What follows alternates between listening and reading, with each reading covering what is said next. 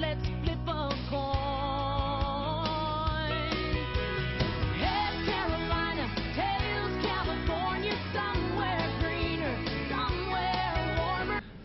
Okay, this is Andy Graham of HoboTraveler.com. I'm in uh, Sofia, Bulgaria. I've traveled nonstop for 16 plus years, and I'm in my 99th country.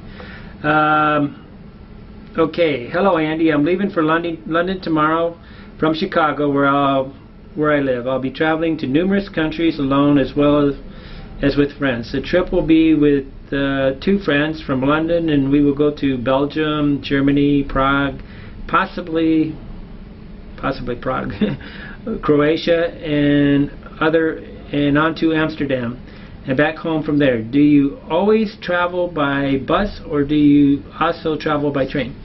I, I, I neither travel by bus, and I neither travel by train. I travel by whatever way is cheapest and the most efficient in a way. Um, the train is a very comfortable way to travel, but it's a very difficult thing to book. Uh, I'm a wanderlust person, so I usually like the bus because I'll give for example right now. I, I'm I'm taking a bus a bus. I'm going to go to Thessalonica or something like that, Greece from Bulgaria. And there's one train that leaves at like three o'clock or two o'clock in the afternoon, and arrives in uh, Greece at uh, in the dark, right? Or I can take a bus at 9 o'clock, 10 o'clock, 11 o'clock, 12 o'clock or something on Sunday and I can arrive there at a reasonable hour. Um, and probably the bus is cheaper but the train is more comfortable. So but is it comfortable to arrive in a city in the dark? No. So sometimes we we just uh, asshole backwards in a way. People do things to me just they don't see the long picture. They they, they buy some comfort and arrive in the middle of the dark like that's some kind of wisdom. But really you kind of what I mean, the, the, most comfortable way to travel is really to, to get on a bus at like 9 o'clock at night and arrive at uh, 8 o'clock in the morning or something. The problem is you don't see any of the countryside. And uh, I really think the buses show me more of the world than a train because a train goes zooming faster than a bus and doesn't stop. And it, it it often has trees around it.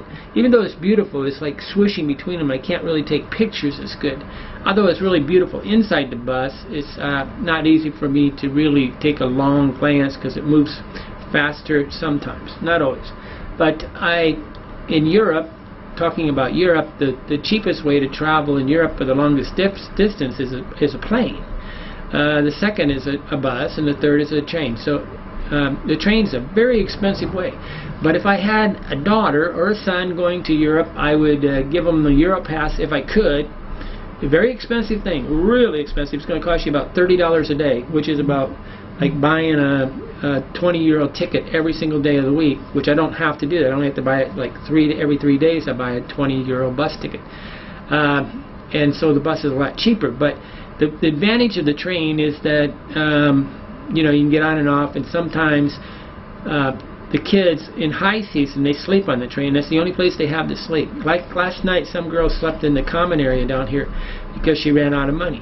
Um, this is a real possibility, and uh, a lot of times people get so drunk and so much so so disorganized that they didn't they leave for the place thinking they're going to find a room and then they don't find a room and they sleep in the train. I did this. I bounced off of Italy one time. I went into Cinco something and I couldn't get I got on a train and ended up in Austria.